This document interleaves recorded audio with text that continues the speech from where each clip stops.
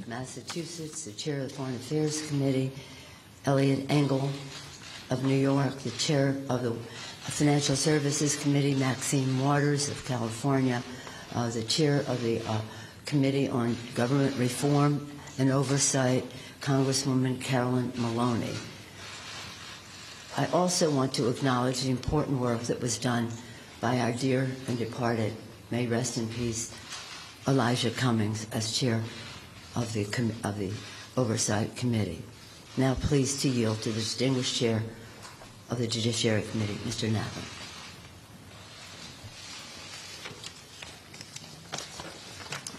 Thank you, Madam Speaker. Over the last several months, the investigative committees of the House have been engaged in an impeachment inquiry into President Donald Trump's efforts to solicit foreign interference in the 2020 elections, efforts that compromised our national security and threatened the integrity of our elections. Throughout this inquiry, he has attempted to conceal the evidence from Congress and from the American people. Our president holds the ultimate public trust. When he betrays that trust and puts himself before country, he endangers the Constitution, he endangers our democracy, and he endangers our national security. The framers of the Constitution prescribed a clear remedy for presidents who so violate their oath of office. That is the power of impeachment. Today, in service to our duty to the Constitution and to our country, the House Committee on the Judiciary is introducing two articles of impeachment charging the President of the United States, Donald J. Trump, with committing high crimes and misdemeanors. The first article is for abuse of power. It is an impeachable offense for the President to exercise the powers of his public office to obtain an improper personal benefit while ignoring or in injuring the national interest. That is exactly what President Trump did when he solicited and pressured Ukraine to interfere in our 2020 presidential election, thus damaging our national security, undermining the integrity of the next election, and violating his oath to the American people. These actions, moreover, are consistent with President Trump's previous invitations of foreign interference in our 2016 presidential election. And when he was caught, when the House investigated and opened an impeachment inquiry, President Trump engaged in unprecedented, categorical, and indiscriminate defiance of the impeachment inquiry. This gives rise to the second article of impeachment for obstruction of Congress. Here, too, we see a familiar pattern in President Trump's misconduct. A president who declares himself above accountability, above the American people, and above Congress's power of impeachment, which is meant to protect against threats to our democratic institutions, is a president who sees himself as above the law. We must be clear. No one, not even the president, is above the law. I want to recognize the great contributions of the investigative chairs, particularly Intelligence Committee Chairman Adam Schiff, Foreign Affairs Chairman Eliot Engel, Committee on Oversight and Reform's former chairman, the late Elijah Cummings, and its new chairwoman, Carolyn Maloney, Financial Services Chairwoman Maxine Waters, and Ways and Means Chairman Richard Neal, who helped lay the foundation for the articles we are introducing today. I also want to thank my Judiciary Committee colleagues who were critical in our work to hold the President accountable and in the drafting of these articles. Later this week, the Judiciary Committee will meet to consider these articles of impeachment and to make a recommendation to the full House of Representatives. We do not take this action lightly, but we have taken an oath to defend the Constitution. And unlike President Trump, we understand that our duty, first and foremost, is to protect the Constitution and to protect the interests of the American people. That is why we must take this solemn step today. Elections are the cornerstone of democracy and are foundational to the rule of law. But the integrity of our next election is at risk from a president who has already sought foreign interference in the 2016 and 2020 elections and who consistently puts himself above country. That is why we must act now. I want to turn now to Chairman Schiff, will explain the evidence that supports these articles and the need for us to act with such urgency today.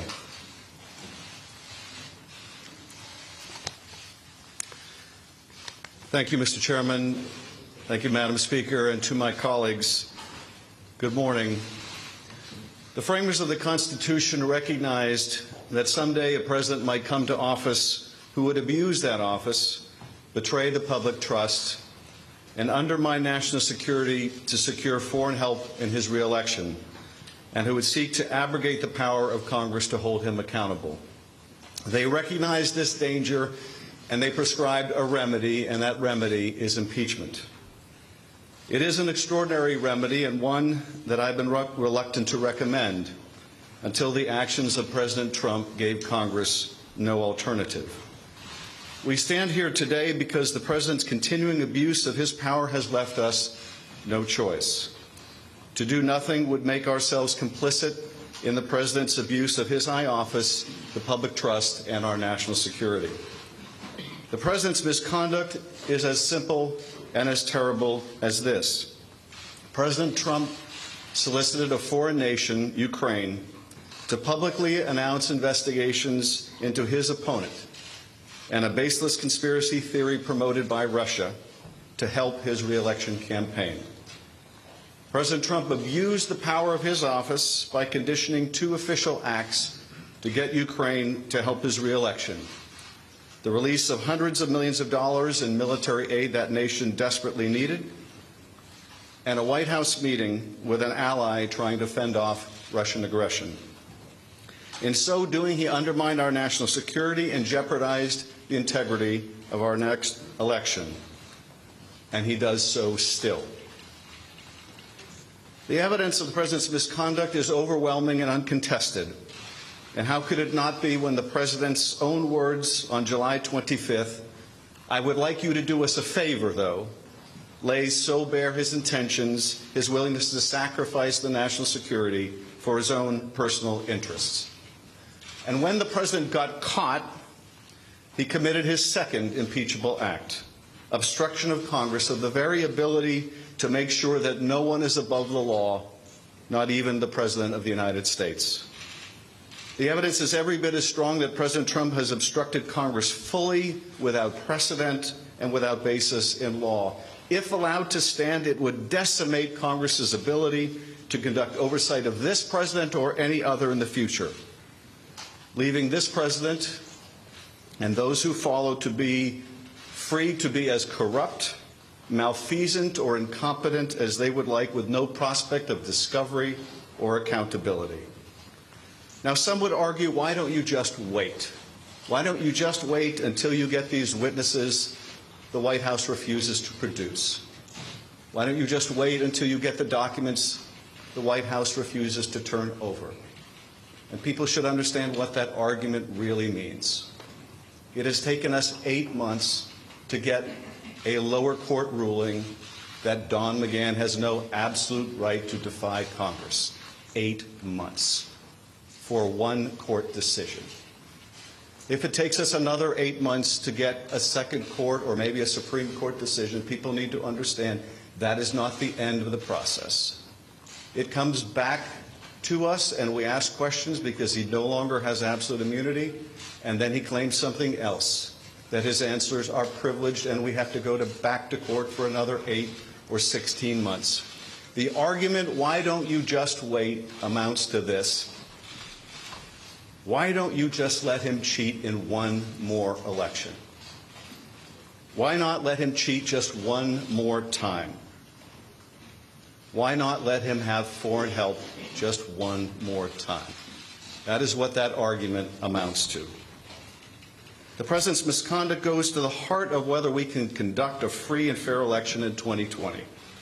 It is bad enough for a candidate to invite foreign interference in our political process, but it is far more corrosive for a president to do so and to abuse his power to make it so.